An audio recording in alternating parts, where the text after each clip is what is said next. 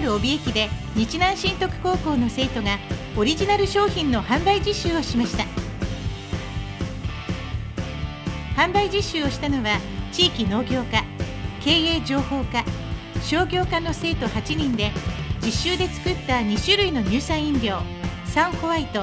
計20本を観光特急海幸山幸の乗客向けに販売をしました。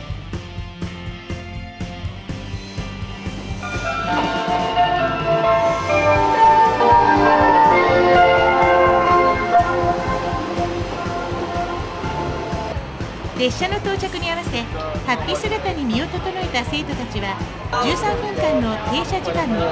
少しでも多くの観光客に試飲をしてもらい PR をします中でも学校のハウスで育てたパイナップル味の乳酸飲料は試飲したほとんどの人が買い求めて完売しましたありがとうございましたはい、気持ちもいいですね。ええ応援したくなるから、一本。また記念写真撮影のサポートをするなど